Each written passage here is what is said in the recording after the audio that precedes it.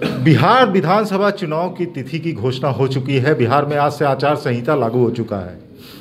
अभी हमारे साथ केंद्रीय मंत्री गिरिराज सिंह मौजूद हैं। हम इनसे सीधे जुड़ते हैं और जानने की कोशिश करते हैं कि बिहार में जो तीन फ़ेज़ में चुनाव होने वाले हैं, एनडीए का इस बार क्या परफॉर्मेंस रहेगा और क्या इस बार 2010 से ज़्यादा सीटें जीत पाने में सक्षम होगी एनडीए? गिरिराज सिंह से हम सीधे बात करते हैं। गिरिराज जी, इस बार चुनाव 28 अक्टूबर को पहले चरण का होना है 10 नवंबर को मतदान मतगणना होगी। तो इस तीन चरण के चुनाव में क्या लगता है, इस बार क्या स्थिति है बिहार? देखिए, मेरा मानना है कि बिहार में 2010 से बेहतर स्थिति रहेगी एनडीए की। और मैं पूर्ण बहुमत जिसको कहते हैं ही नहीं, बल्कि सबल बहुमत आएगा। सबल बहुमत आएगा, लेकिन जो एनडीए में अभी तक सीटों का बंटवारा नहीं हो सका है, चिराग पासवान जो नाराज़ चल रहे हैं मुख्यमंत्री नीतीश कुमार से, ऐसे में क्या लगता है कि चुनाव की तारीख की घोषणा हो गई, अभी तक बंटवारा नहीं हो पाया एनडीए के अंदर जो खींचतान चल रही है, वो पूरा नहीं हो पाया है? चिंता ना करें, ये सब समय के साथ घोषणा हो गई है तो स्वाभाविक है कि समय के साथ सब कुछ हो जाएगा।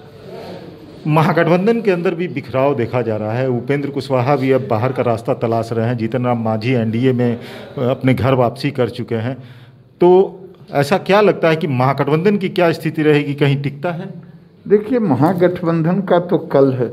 उपेंद्र कुशवाहा ने वो जो बैलून में हवा भरा गया था, महागठबंधन का हवा, उसको उन्होंने डिफ्यूज कर दिया।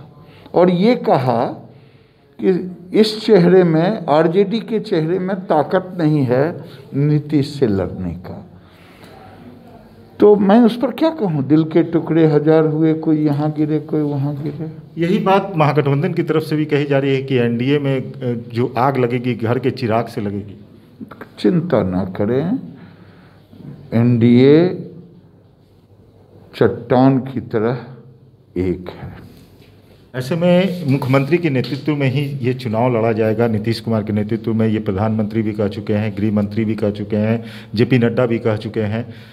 तो इस बार का जो सिनारियो है, जो कोरोना का काल आया, जिस प्रकार से प्रवासी मजदूर लौटे, बहुत सारे एलिगेशन लगे राज्य सरकार के ऊपर तो ऐसे में लगता है कि इस बार निगेटिविटी आ सकती है कुछ?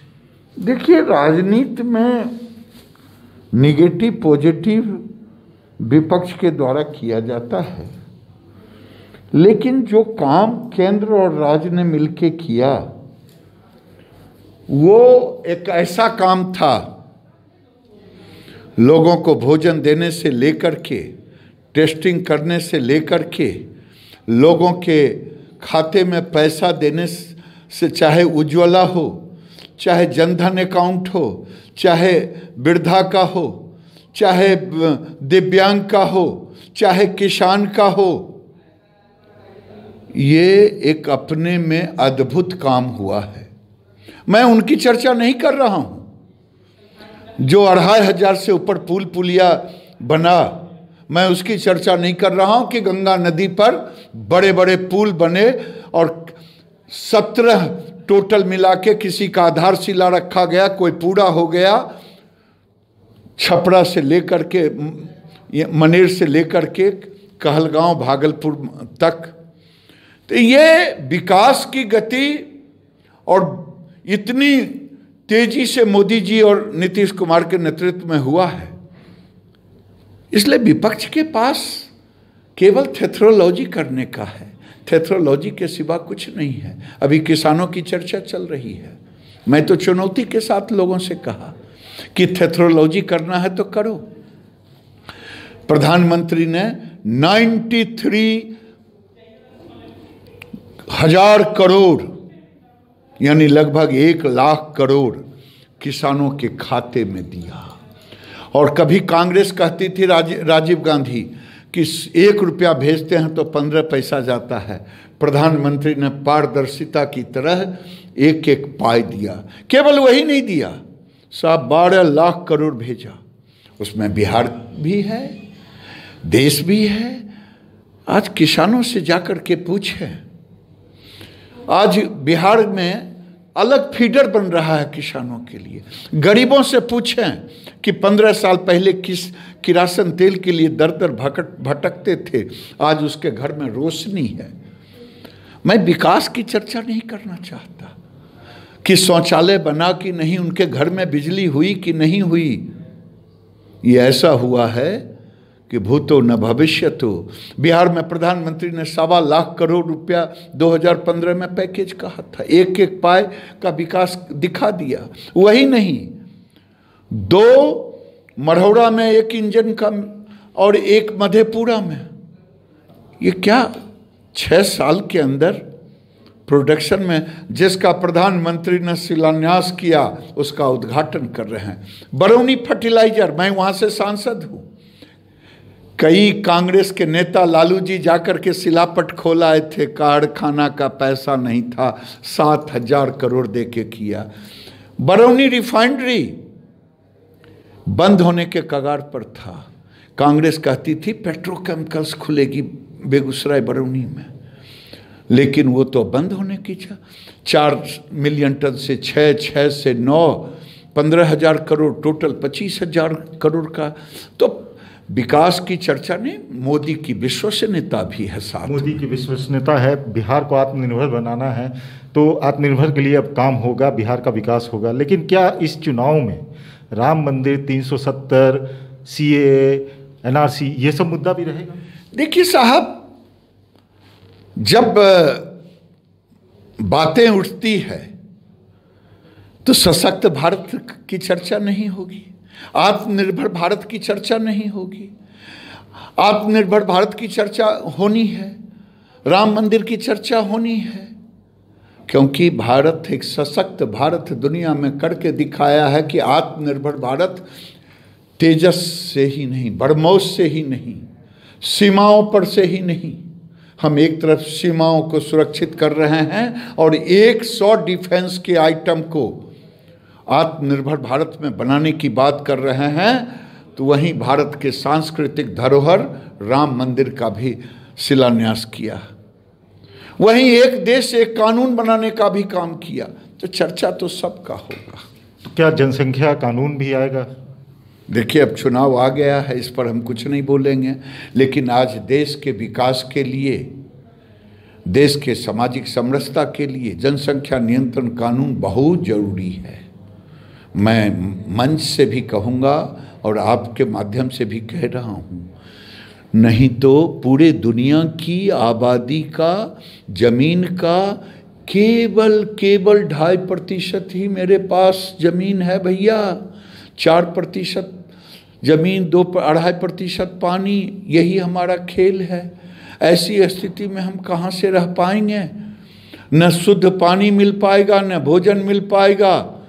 तो देश में आबादी को नियंत्रित कर नियंत्रित करना भारत के विकास की प्राथमिकता होनी चाहिए। आपने एक बार हमको मुझे याद है कि आपने कहा था कि मुसलमानों को अब अल्पसंख्यक कह देना बंद कर देना चाहिए क्योंकि उनकी इतनी आबादी है। चलिए इस पर फिर बाद में हम बात करेंगे। अभी चुनाव का माहौल है चुनाव के माहौल में हम प्रधानमंत्री के विकास की चर्चा करते हैं उस पर भी आगे चर्चा बात बोला कि तेजस्व की बात की भारत के तेजस्व की बात की लेकिन हम बात करते हैं तेजस्वी की। तेजस्वी यादव अब जो है अपना पोस्टर बदल लिए हैं।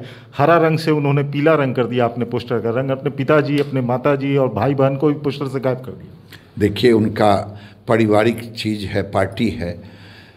आज बीजेपी का कोई बदलना चाहे कि दीनदयाल उपाध्याय के एकात्म मानववाद को तो कोई नहीं बदल पाएगा क्योंकि एक पार्टी है।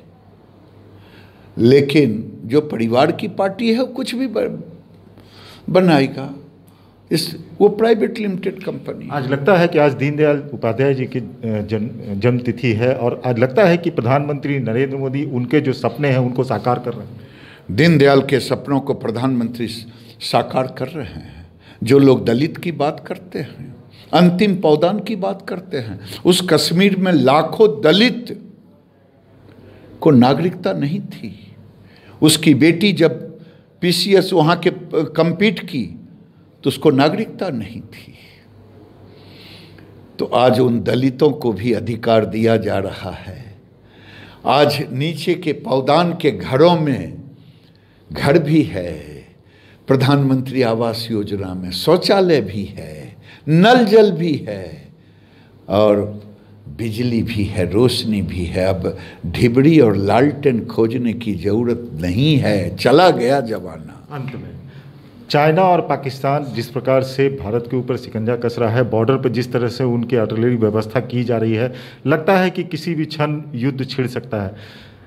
क्या लगता है कि इस बार चाइना और पाकिस्तान अगर दोनों तरफ़ से एक साथ मोर्चा खोलते हैं तो भारत तैयार है? भारत किस तरह से सबक सिखा देखिए, भारत के प्रधानमंत्री, भारत के रक्षा मंत्री, भारत के विदेश मंत्री सबों ने अपनी बात कह चुके हैं।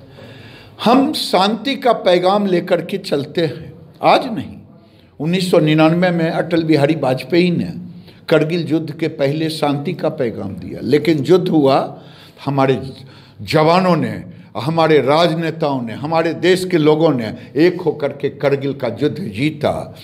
ये भारत 2020 का भारत है, बासठ का नहीं है जो चाइना हमारे ऊपर। हम शांति की पहल तब तक करते रहेंगे जब तक रहेगा पहल करने का।